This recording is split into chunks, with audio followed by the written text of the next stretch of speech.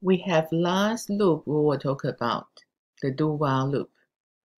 So the do while loop, like we say, is the same as the while loop, except one thing different. They will execute the while loop, the while loop body first. Then we check the loop condition. So you can see the difference from before the while loop. We have condition first, then we have the loop body. So if this condition never been true, this loop body will never be executed.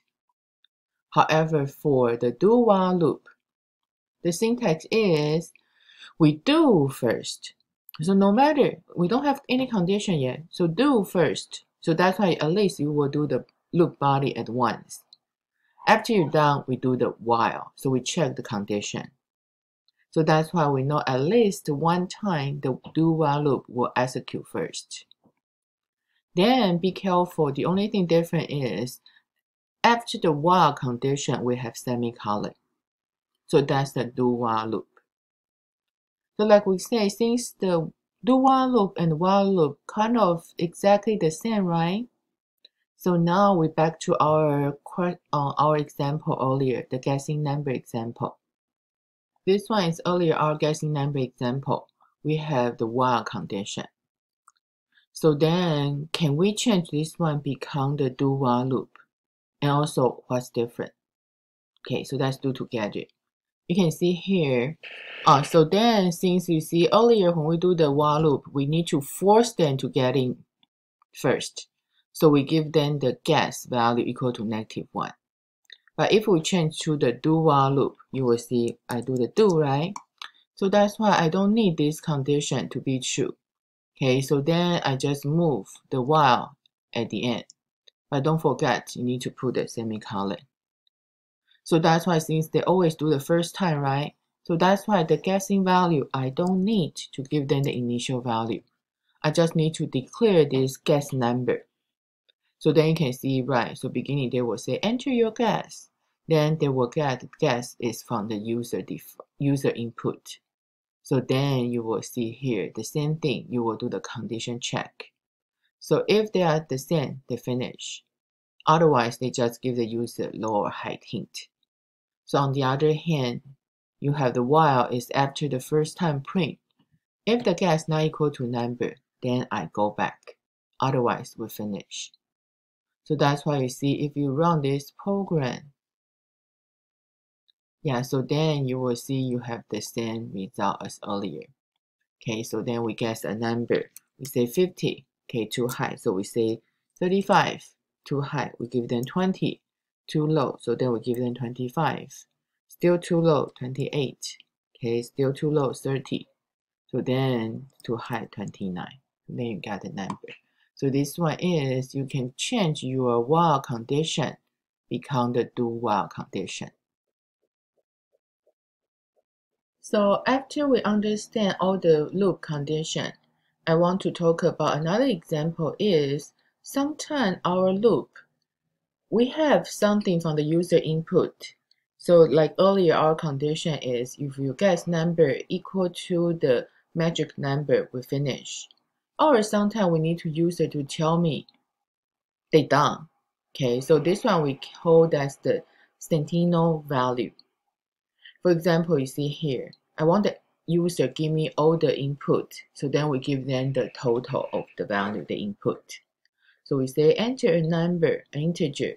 So if input end with zero, then I know you finish. Okay, because sometimes uh, we have the user enter number, but if we say the stop, we don't want them to type stop. Maybe we just then give me the value. They are the same data type, but I know that value is not included in my input. So we know we finish. So you can see user entered 2, 3, 4. So they're enough. So they enter 0. So then at the end, we only add 2, 3, 4. So we add the sum equal to 9. Okay. So how should we implement this one? So this one, the same thing you can use in the while loop or do while loop. So then you can see here, this example actually is the while loop condition. So then uh, this example, I believe I have that in demo file too, but I just show you the screenshot like this for now.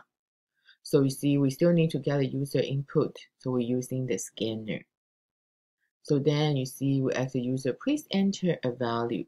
So we get that value. So then we have sum.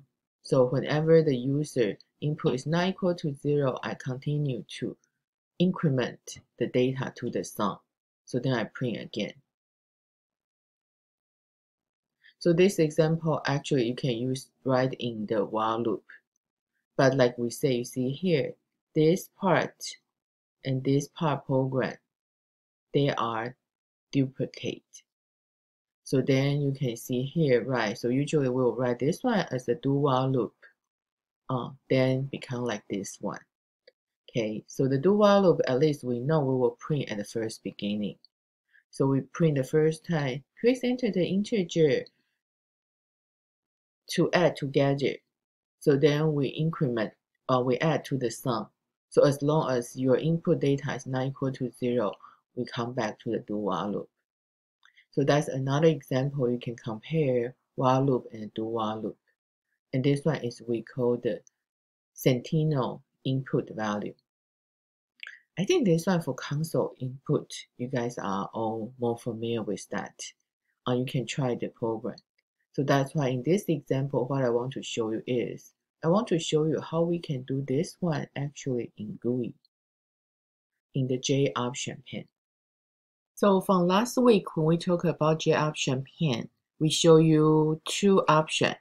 You can show message, you can show input.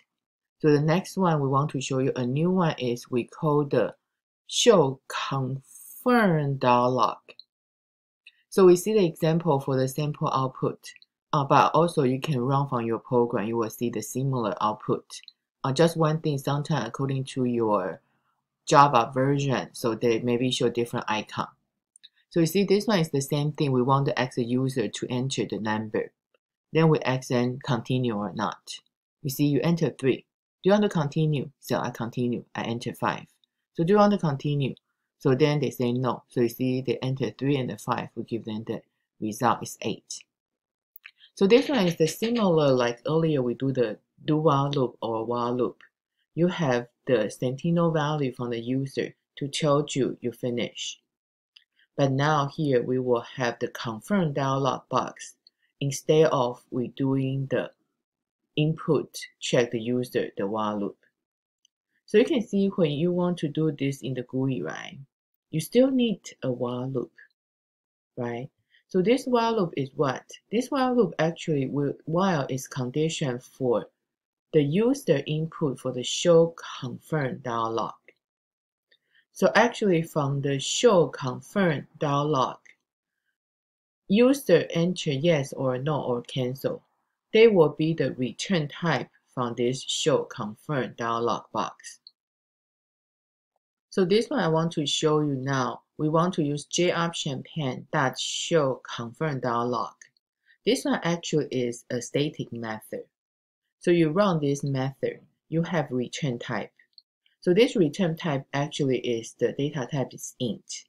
So according to the user say yes, no, or continue. So that's the integer value will be different. So here, let me talk about the show confirm dialog box.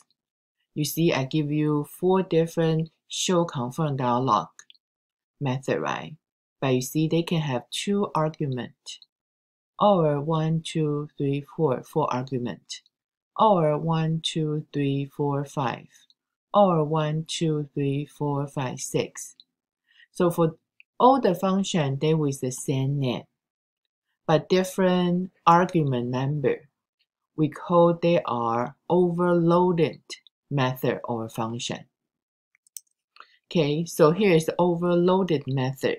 In Java, we say method. In C++, we call function. So overloaded method or function mean they have the same function name, but a different dialog box. Uh, so different number of argument, parameter argument.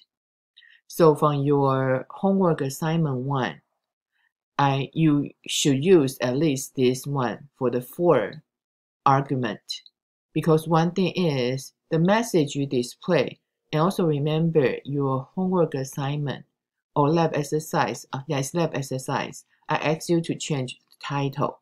So that's why in order to change the title, we need to have the full argument. So this one is, I quickly told you what mean the overloaded method. This one we will talk about more when we are in the method chapter. But one thing is now you should know, when we see method in the Java, they have the return type. So for the show confirm dialog box, the return type is int. Then last week we talked about show input dialog. That's string. So let's we using from the last week. So then we have the show message dialog. Actually, they don't have return type. So what I want you to do now is let's test the example. Uh, here is the output. So then I want to show you the so the source file. But the source file actually I want you to download so we can run at the same time. So I can explain to you. So you can post the video. So I want you to download loop using dialog box to see can you run the program have the same output as mine. So then I will continue to explain what happened. I hope you post the video and check the sample file you run. So then let me explain to you what happened. So we will do exactly the same thing as the output here. Right, you see here we need to display the sum. So on the other hand, right, before we start off our while loop, the first thing in our main function, we need to have the sum declared and initial to zero. So then remember we have our while loop, right? So the while loop actually is according to when we're using the show confirm dialog box, what is my return value? So this one is our confirm dialog box, right? You see, because user possibly give me yes, no, or cancel. Yes, I continue to them to give me the input. No, actually, I will just give them the sum. So that's why actually how user choose from the show confirm dialog box in the while loop decide how I want to do. Okay, so that's why here you will see here. Oh, so I have the while loop. This while loop, we just say using the option to check. So earlier we say J option pane show message dialog, right? They will read uh, show confirm dialog, they will give you a return value. But sometimes I don't remember one, two, three. So that's why in Java, if you have a constant number, uh, in J option pane, we have couple constant number. They have the class name dot variable name. So if value equal to J option pane dot yes option, that means user choose yes. Otherwise, user maybe choose no or cancel. But either way, no or cancel we finish, right? Right. So that's option we define we assign equal to J option pane yes option. We force to get into the while loop. So inside the while loop, the first thing, right, I will show input dialog box to ask user to give me the integer. So the user will give me integer, right? But we will save in where? Right, because show input dialog, the return type is a string. So I have a string called input. So line 17, I will explain detail later. But this one is because your input is a string. I don't want the string, I want the integer. So we can do the integer dot parse int function they passing a string variable. Then they will con convert this string become an integer. So that's why here I have a data, so I add to the sum. So then after I got the value, I just give them the show confirm dialog box. Should I continue? So then if you say no or yes, I finish. So if you say no or continue, I finish. But only if they say yes, right, I need to show the input dialog again. Then I get the input convert to the data. I add data to the sum. So then if they say no or cancel, so then I display show message dialog. The sum is the value.